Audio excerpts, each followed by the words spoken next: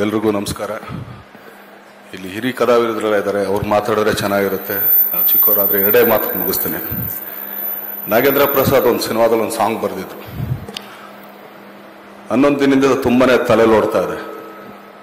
ಕಾಣದ ಕೈಯಲ್ಲಿ ಗೊಂಬೆಯು ನೀನು, ಕಾಲದ ಎದುರಲ್ಲಿ ಕುರುಡನು ನೀನು. ಅರ್ಥವೇ ಆಗದ ಜಗದಲ್ಲಿ ಅರ್ಥವ ಹುಡುಕಿದೆ ನೀನಿಲ್ಲಿ.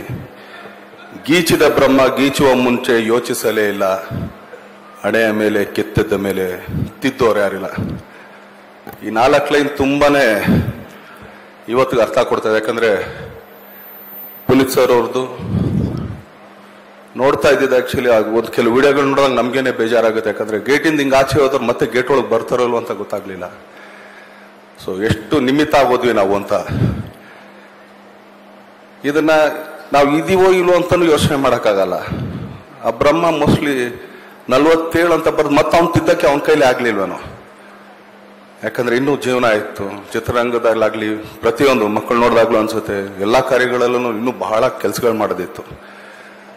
ಸೊ ಇವತ್ತಿಗೂ ನಮ್ಮ ಜೊತೆಗೆ ಇದ್ದಾರೆ ನಾವು ಯಾವತ್ತೂ ಅವ್ರನ್ನ ನೆನೆಸ್ಕೊಂಡು, ಅವ್ರ ಕಾರ್ಯವೈಖರಿ, ಅವ್ರ ಕಲೆ, ಅವ್ರ ಸೇವೆ ಯಾವಾಗಲೂ ಮುಂದುವರ್ಸ್ಕೊಂಡು ಹೋಗೋಣ ಅಂತ ಹೇಳ್ತೀನಿ. ಧನ್ಯವಾದಗಳು. Thank you